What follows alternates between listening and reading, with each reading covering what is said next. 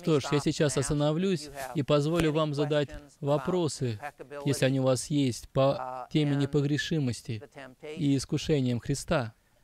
И как мы уже сказали, невозможно было, чтобы Иисус поддался искушению, чтобы Иисус, как цельная личность, не смог справиться с искушением. Его божественная воля гарантировала, что его человеческая воля не поддастся искушению. Но у Иисуса Христа было реальное тело, и оно могло испытывать боль точно так же, как ваше тело и мое может испытывать боль. Конечно, он мог что-то сделать, чтобы сойти с креста, чтобы закончить все эти мучения, но это был один из тех случаев, когда он сознательно ограничил использование своих божественных атрибутов. И он прошел через все это. И физически он испытывал то, что испытывал бы на его месте каждый из нас, если бы мы были на кресте. Вопросы? Да, пожалуйста. Вот есть церковь, которую посещает моя мама. И там как-то раз проповедовали о том, что Иисус, будучи искушаем, победил грех, преодолел искушение. Поэтому каждый из нас может преодолеть искушение – Раз это было возможно для него, то это возможно и для нас.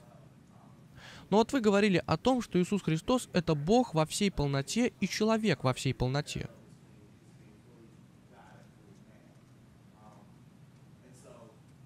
И вот какой мой вопрос. Имел ли когда-либо конфликт между божественной природой Христа и его человеческой природой? наподобие того конфликта, о котором мы читаем в седьмой главе послания к римлянам, который имеет место в жизни верующего. Понятно, что он не согрешил, не поддался искушению. Но вот имел ли место подобный конфликт? Нет, я думаю, что вопрос, который вы задаете, вполне уместный и важный. И здесь опять мы должны сказать о том, что искушение подлинное — по отношению к той части его личности, которая могла быть искушаема. И вот вопрос, который вы задаете, была ли борьба в Иисусе Христе между Его божественной и человеческой природами? И в действительности мы этого не знаем.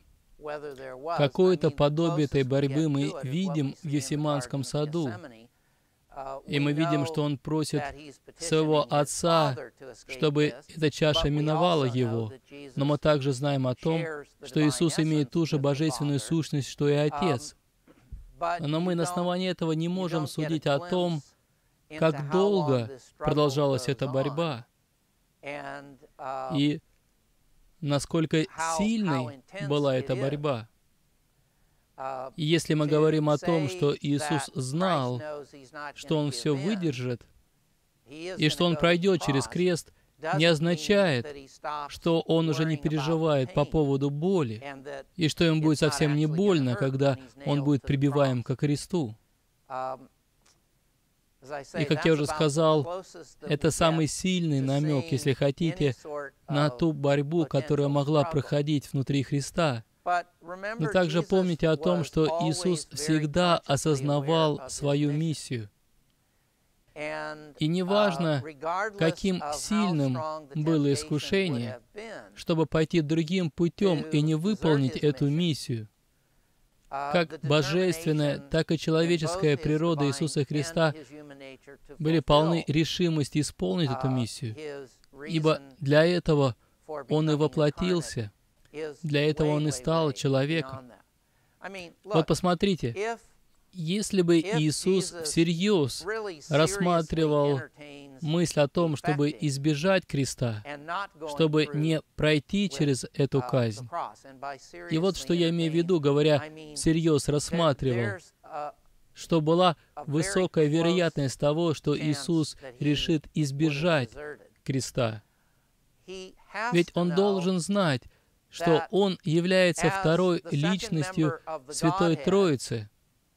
И Он на многое пошел, пошел на много лишений, чтобы прийти в этот мир, чтобы принять на себя природу человека, природу во всей полноте, И для какой цели? Чтобы в итоге умереть на кресте и заплатить за грехи и воскреснуть из мертвых. И если он решает избежать этой казни, то тогда какой смысл был во всех этих лишениях становления человеком? Почему тогда не оставаться было на небесах, во славе, во веки, а человечеству сказать, вот у вас проблемы, удачи, я помолюсь о вас? Нет, он должен понимать, в чем заключается его миссия. И это понимание должно было его останавливать от неверного шага, но не только это. Помните о том, что он не обладает той греховной природой, которую мы унаследовали от Адама. Поэтому он не имеет склонности совершать зло, хотя отсутствие этой склонности не уберегло Адама и Евы от грехопадения. Но также Иисус при всем этом обладал божественной природой. И кроме того, Он всю свою жизнь был послушен. И я думаю, все из нас могут подтвердить, что чем дольше вы послушны Богу, тем легче это становится. Конечно, при этом все еще возможным остается согрешить, но тем не менее, если мы вырабатываем навык послушания Богу, то послушаться Бога в следующий раз становится легче. И также верно и обратное. Если мы не послушны Богу, то в следующий раз проявить непослушание будет проще. И вот перед нами Иисус Христос, и Он послушен Богу. Всю свою жизнь Он послушен Отцу. И с каждым разом проявлять послушание для Него становилось все проще и проще, несмотря на то, что искушения и испытания становились все тяжелее и тяжелее. Ответила ли я на ваш вопрос? В принципе, все понятно. Просто я еще и еще раз убеждаюсь в том, что Иисус — это стопроцентный Бог. Бог во всей полноте. И также человек во всей полноте. Что ж, хорошо. Еще, пожалуйста, какие есть вопросы перед тем, как мы уйдем на перерыв? Да, пожалуйста. Я немного запутался по поводу понятия воли. Воля — это некая способность, благодаря которой могут осуществляться действия. И вот скажем, если присутствуют две воли, то как это работает? Я просто пытаюсь понять, что же вы имеете в виду под понятием воля.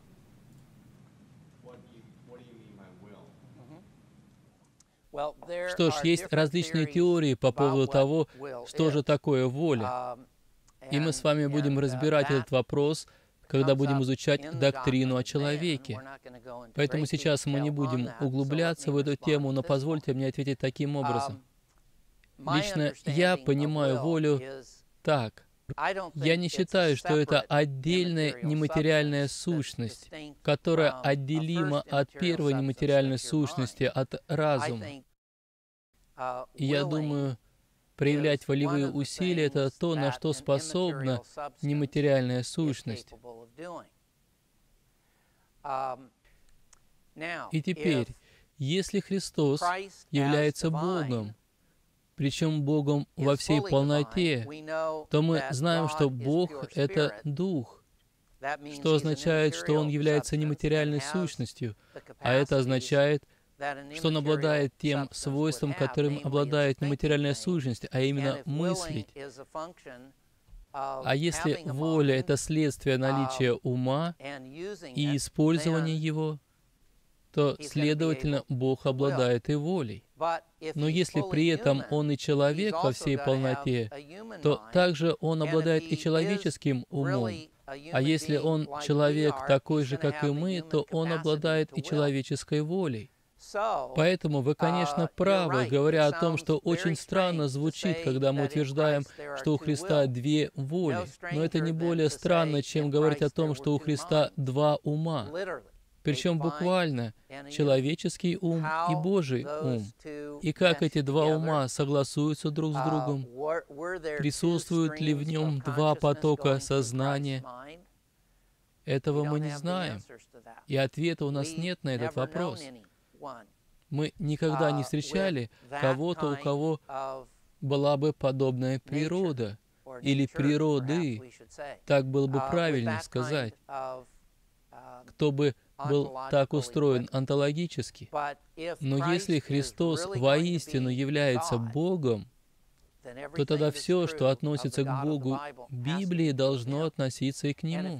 И если Христос воистину человек, то тогда все, что относится к людям, относится и к Нему. Поэтому у Христа не может быть всего лишь одна воля.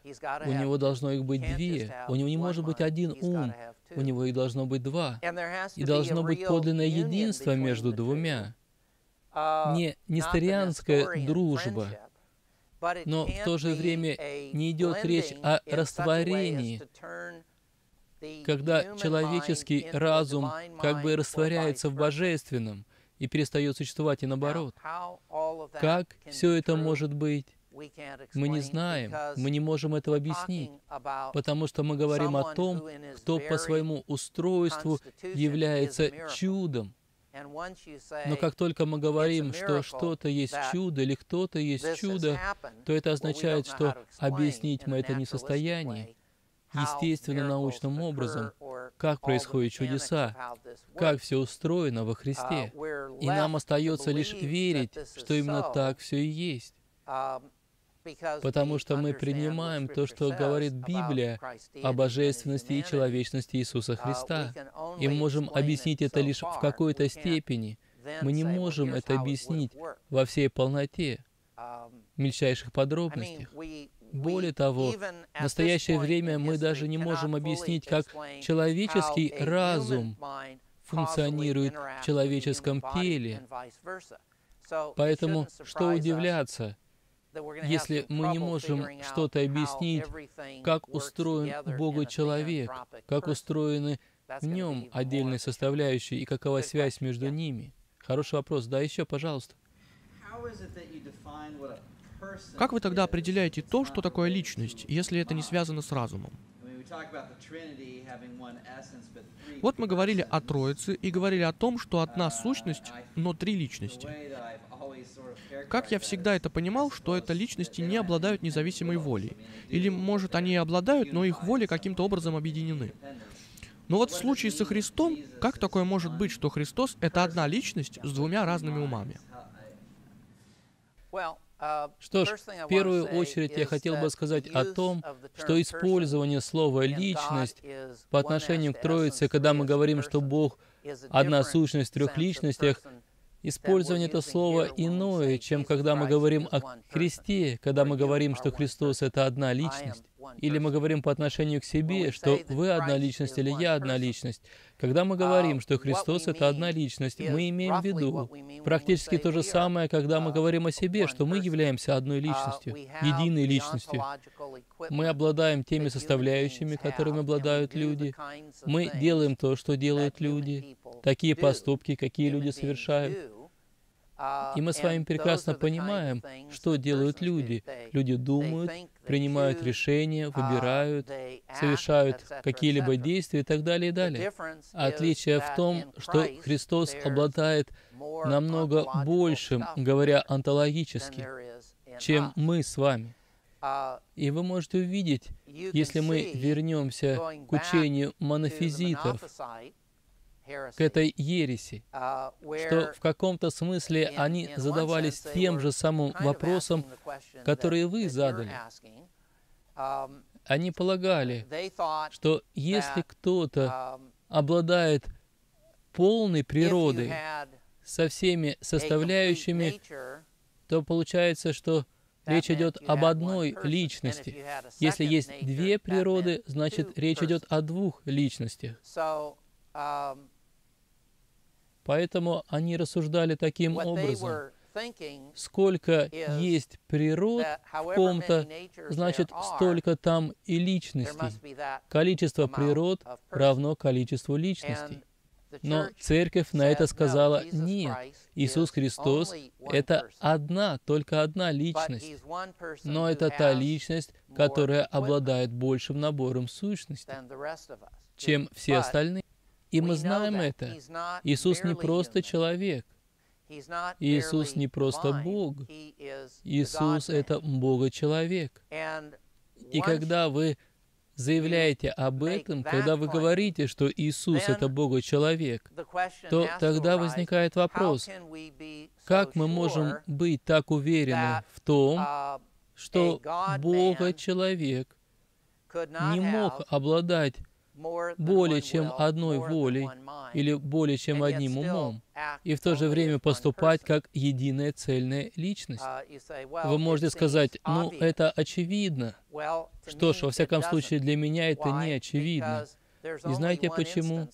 Потому что есть только один пример богочеловечной личности, и богочеловеческая личность отличается от простой человеческой личности.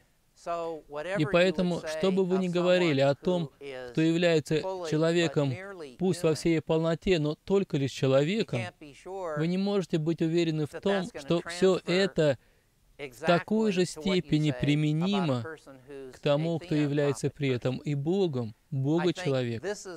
И здесь мы с вами вступаем в ту сферу, где мы до конца не можем понять, как кто-то может обладать двумя умами, и при этом одним потоком сознания, иметь две воли и при этом не принимать два противоположных решения одновременно. Это все часть таинства. И вот по какой причине я такое говорю. Если бы у Христа была только одна воля и был только один ум, то Он был бы либо неполноценным Богом, либо Он был бы неполноценным человеком. И если в Иисусе Христе отсутствует что-то, что присутствует в людях, то получается uh, так, что Иисус Христос только лишь кажется человеком, но на самом деле Он не является человеком uh, во всей полноте.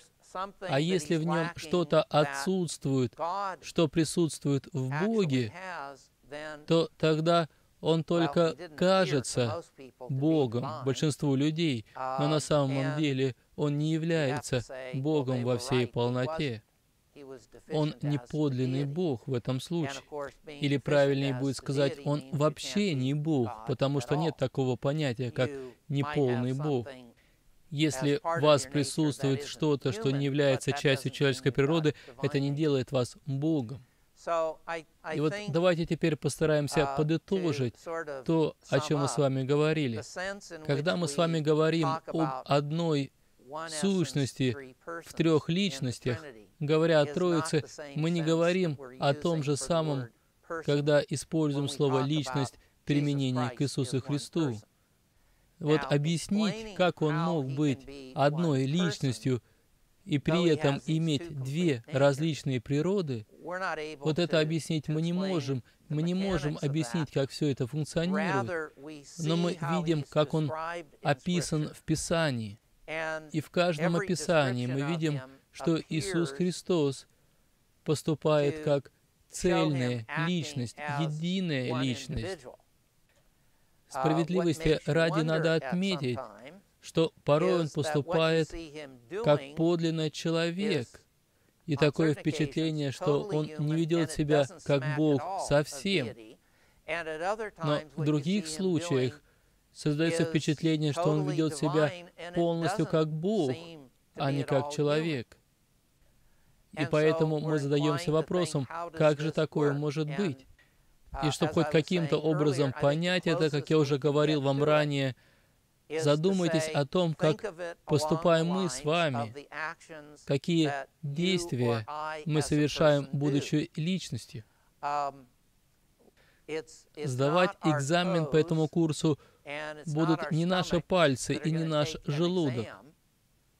Но мы будем абсолютно правы, если потом скажем, что я сдал экзамен. И не только лишь один ум участвует в сдаче экзамена, должны участвовать и другие органы нашего тела. Но означает ли все это, что мы не одна личность, если в каком-то действии участвуют несколько частей нашего тела? Конечно, нет. Просто когда мы с вами что-то делаем, мы используем все то, чем мы обладаем, все те способности, которые у нас есть, чтобы это сделать. Именно так обстоит дело со Христом. Просто способностей у него больше, и обладает он большим. И здесь уже начинается таинство. И объяснить мы это все можем лишь до какой-то степени. Спасибо, что задали этот вопрос. Конечно, было бы здорово, если бы я мог дать более определенный ответ. Поддержите ТВ-семинарий молитвой и финансами. Не рассчитывайте, что пожертвует кто-то другой. Так думают многие, и хорошие проекты перестают существовать. Поддержите наш проект молитвой и финансами. Информацию, о чем молиться и как пожертвовать, вы можете найти на сайте tvseminary.com.